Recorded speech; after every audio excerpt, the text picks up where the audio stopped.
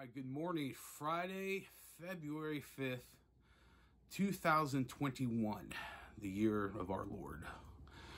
And uh, thank God it is Friday. That's all I can say. Want to give everyone a quick update. After many, many, many emails, a lot of uh,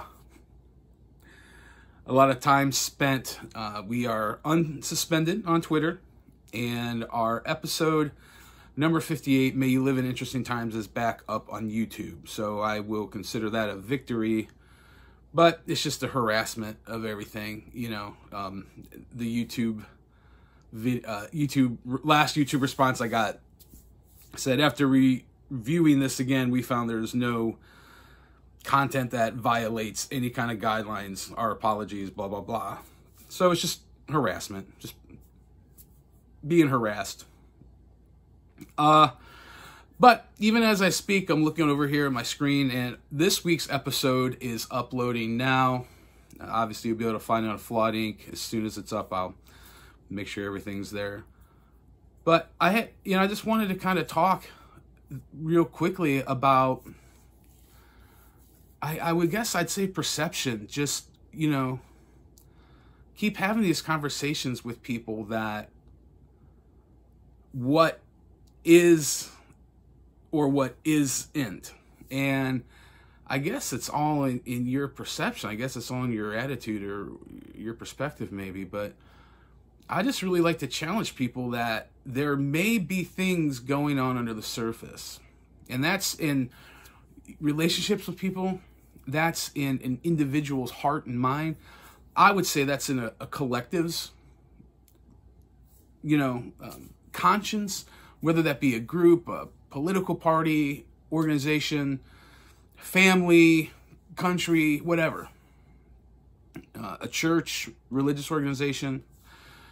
I I just think that if we aren't able to start to view things in a really pragmatic and authentic way. And that's that's on both sides. Either, you know, it's about being balanced.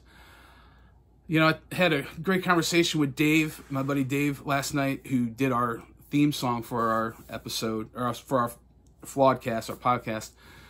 And we were talking about, you know, in Romans 7, where Paul talks about duality. and that's something I think about all the time duality.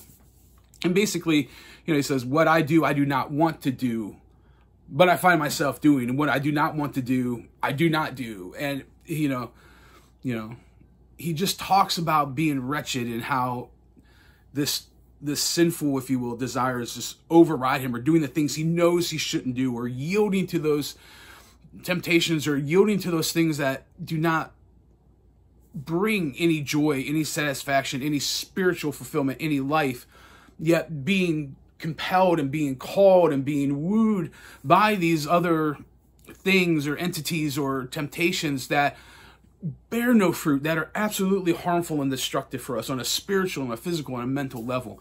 And there's that consistent balance. And I would argue that that goes beyond the individual, that that is also for a collective.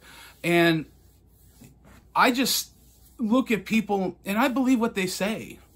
I might be gullible, and I know that I've gotten uh, shirted on in the past by that. But I think, genuinely speaking, and generally speaking, people say what they do. They may not always do what they say, but I believe people's intentions, they, they just come out and say it. And the more nefarious they are, then usually, in my experience, the more accurate they are.